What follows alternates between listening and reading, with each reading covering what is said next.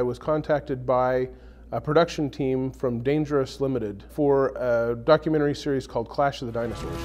Now, for the first time in 65 million years, cutting edge imaging technology takes us inside their bodies to reveal just what the world's toughest defenders are made of. I realized that my words had been twisted to make it look as if I was presenting an idea that I don't actually accept. Moving a mountain of flesh requires sophisticated coordination.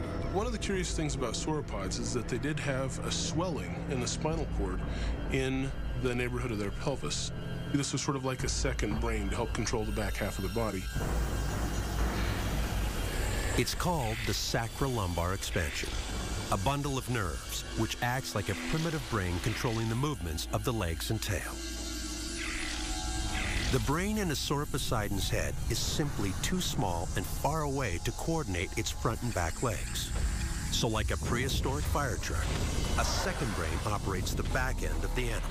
So there I was watching the documentary on TV, and I see myself saying the words that had said, but with the framing removed so that the meaning was actually turned around 180 degrees. What they did is take out the part where I said there was an old idea that, and then the but now we know, and just left me saying. They did have a swelling in the spinal cord in the neighborhood of their pelvis.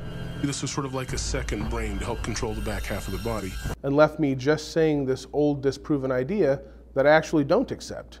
It had completely reversed the meaning of what I said.